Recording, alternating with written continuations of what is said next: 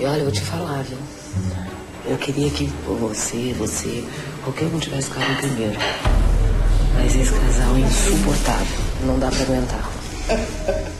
Simoni já demonstrou anteriormente que não é lá muito fã do casal Laura Keller e Jorge no Power Couple da Record.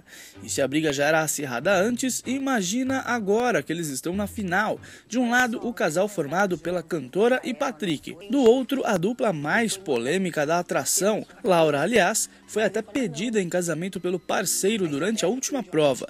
A grande final será exibida na próxima terça-feira, dia 21. Aliás, qual que é o cheiro do amor? Você descobriu enquanto estava na banda? Então, então, tô, tô, até hoje procurando. Outro dia tava fazendo... Há um ano, Aline Rosa não soube responder a pergunta de Danilo Gentili durante o The Noite, mas a cantora, digamos, descobriu tempos depois. Porém, não foi bem o cheiro do amor, não.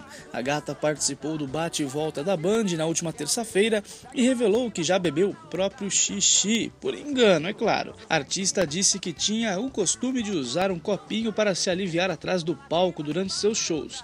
Num belo dia, muito cansada, resolveu tomar um pouco de energético. Não percebeu o que tinha no copo e mandou para dentro. E tem mais, viu? A famosa lembrou ainda que já aconteceu de beberem por engano, aspas, acharam que era uísque, colocaram energético, gelo e a pessoa bebeu. Fecha aspas, cada uma. Não põe roupa agora.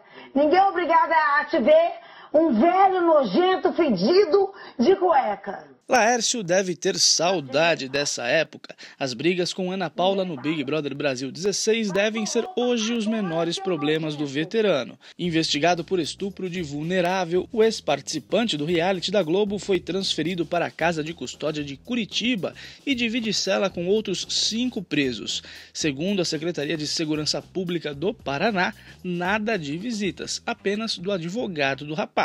Que fase! Brasil era super garoto, Provavelmente os fãs, principalmente os mais jovens, não se lembram de Xuxa como modelo.